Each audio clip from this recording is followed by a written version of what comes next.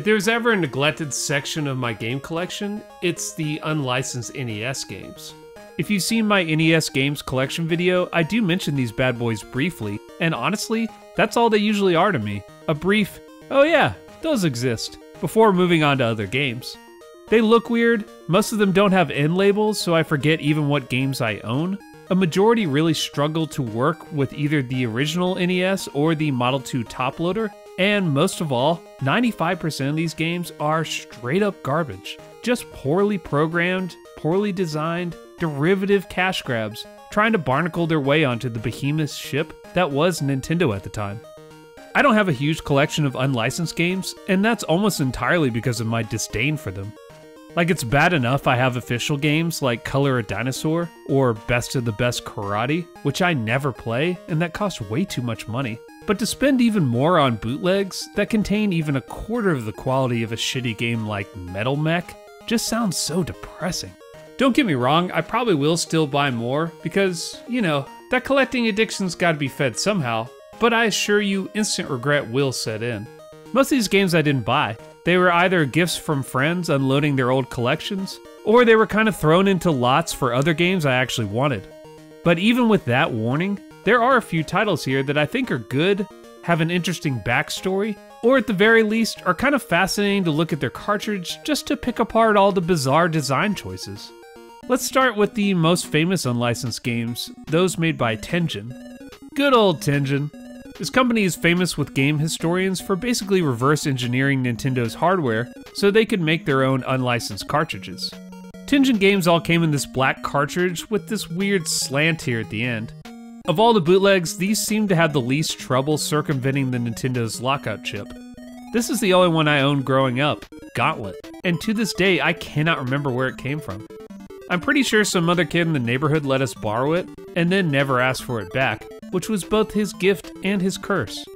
I mentioned the Tengen games a bit in my NES games with alternate cover art video, because yeah, there are official cartridges with slightly different artwork to accompany their bootleg buddies here. We've got Temple of Doom, Pac Man, both Miss and Mr., Gauntlet, RBI Baseball, and the most famous of all, Tetris. The other four games are identical to their legit counterparts, but Tengen Tetris has a totally different look and design, even if, yeah, it's still Tetris. The graphics and colors are worse, especially as the blocks connect, but it does offer more gameplay modes, including versus the computer, competitive two player, and even two player co op. No way! I'll definitely come back to this later when I make another best two player co op games video. All in all, the Tengen games I have are pretty decent. They're maybe not quite at Super Mario level or anything, but they are definitely several quality steps above something like Castelian or Funhouse.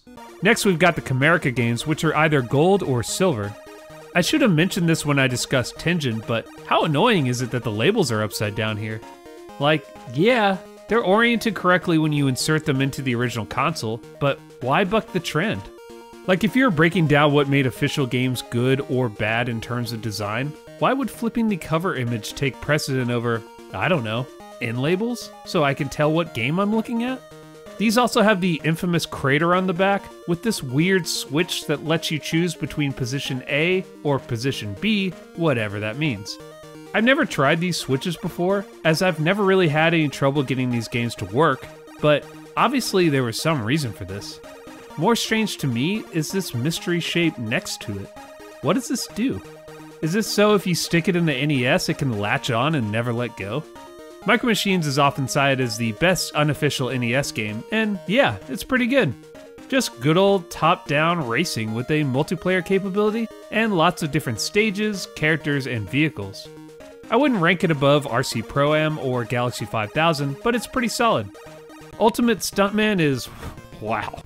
I get what they were going for here with the eagle and the explosions and all, but how impractical is this dude's shirtlessness? Buddy, your nipple has been fucking shredded off. Also, what's up with his hair?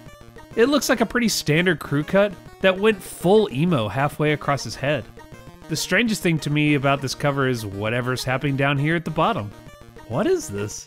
In the full box art, you can see it's a green and pink squid that's down there sucking him off, but why crop it this way on the cartridge? Just bring the bottom up a bit or zoom out a little. Don't just leave these mystery shapes cut off here. Definitely my most massacred copy is MiG-29. Fuck me, they got this one good. Two stickers on the label, two on the sides, and even the remnants of another on the back. They even stuck the infamous Be Kind Rewind reminder on here. Perfect. I'm a Kroger man through and through, and I wish to God we had had video games at my local stores here in Atlanta. I would have helped my mom with any grocery shopping she needed, just for the chance to peruse something even of the quality of MiG 29.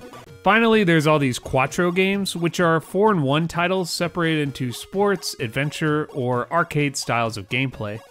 Man, there really should have been a fourth Quattro game just for symmetry's sake. Quattro Adventure is a series of very simple collecting type games that remind me of old PC titles from the 80s and early 90s.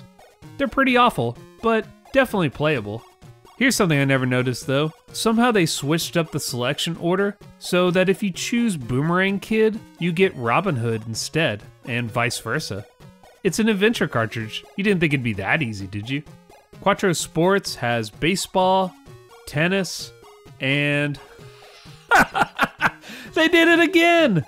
Selecting BMX gives you soccer and vice versa.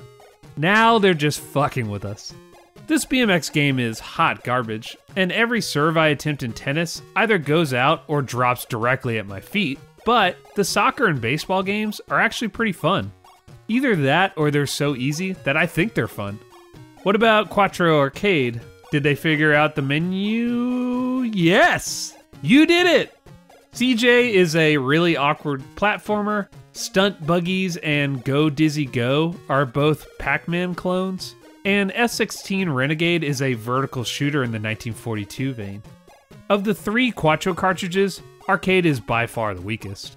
Each of these Quattros is pretty terrible, but as a kid I would have loved to have any of them, simply because having four mediocre games is way better than having one Karate Kid. Here's a rad one Chiller, released by a company that won Best Name at the 1990 Namesies Awards American Game Cartridges. Chiller is a light gun shooter, which starts off innocuous enough in this graveyard, but later stages feature these bizarre torture chamber scenes where you shoot the limbs off of these helpless victims. Gross! There's a lot more to say about this, but I'm not really set up to record light gun footage yet, so I'll have to save this for another time. I will say I love this cover.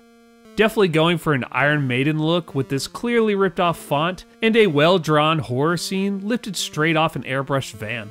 A detail I never noticed till now because of how dark this composition is, is the carving on the headstone. Dead people are cool. Um, I guess, if you say so. Now we're getting into the wackiness with the American video entertainment games. These come in black and all have the unnecessary press here circles printed upside down at the top for all the people who inserted these games into the NES and couldn't figure out how to make them come out again. They also have this strange corner cutoff thing. Weird. I mentioned Impossible Mission 2 briefly in my recent pickups video, and yep, it's an okay run around and grab stuff game. Wally Bear and the No Gang is the infamous anti drug title, where as Wally you try to get your friends off drugs. I remember there being more enemies in this game, but I've been pedaling to the right for 5 minutes, and everything just repeats on a loop like the background of a Flintstones cartoon. Dudes with Attitudes is trying way too hard to make you think this is some cool game with cool guys doing cool things. Instead, it's just a weird Arkanoid style game with some of the most obnoxious sound effects on the NES. Venice Beach definitely wins the horniest cover award. I mean, think about the perspective here. You'd have to be laying down underneath the net to get this view. How awkward. Also, I love the way they tried to place this net that seems to stretch on for eternity. It's trying to mimic the perspective of the shot, but instead looks like it's a ring around the earth, and these two girls are just playing slapball with patty cake rules. Ah, color dreams. Check it out, I've got a perfect gradient of color decay, starting with baby blue and shifting slightly into this greenish turquoise. All these games are fucking terrible, but the covers are definitely in the they're so bad that they're good territory. Master Chu and the Drunkard Hu isn't too atrocious, but the posing of this dude makes no sense. Like he's kind of moving left but jumping forward to the right simultaneously, but also into the foreground with his floppy, goofy ass clown shoe flying at you. Captain Comic is just an odd choice all around. It's a comic book character who's space age, but he's in a medieval dungeon? What kind of game is this? Oh, this kind of game. I like how there's an owl and a bee busting through the walls like animal Kool Aid men. Robo Demons is the strangest of them all, but not for any real interesting reason. It's just, what the fuck is going on here? Dented head Cyclops octopus? Sure. Hiding behind this wall, even though it's clear he's not only visible but has already been spotted? Yep. Mini chrome versions of the main character? Why not? My biggest issue here is the resolution is so shitty. I can't make out for the life of me what's happening in this hole in the wall, or with these flying dudes. It's like he drew it on a stamp, took a picture with a Motorola flip phone, posted it to a website, and then saved it again for maximum digital muddiness. Either that, or they just use some really cheap printing for their labels, and yeah, that's it.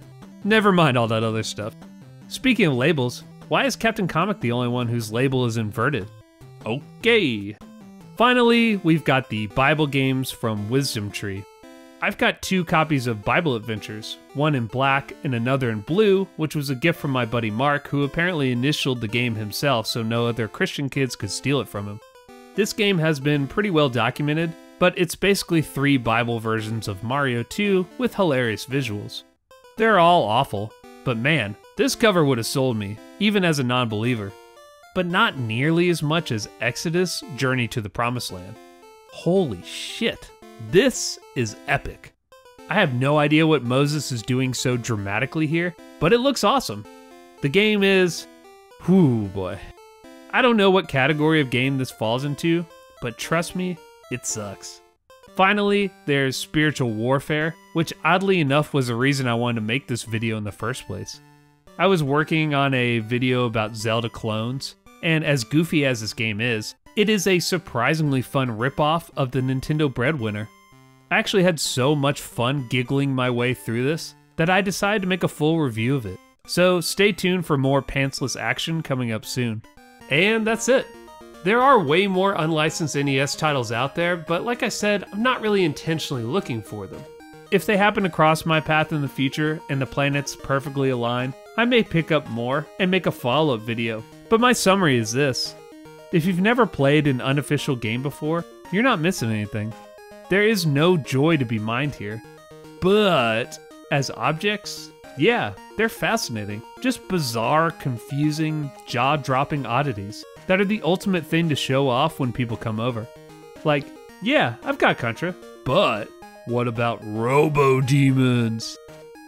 no, I'm, I'm just kidding. We're not actually going to play that. Contra it is. Anyway, until next time, thanks for watching.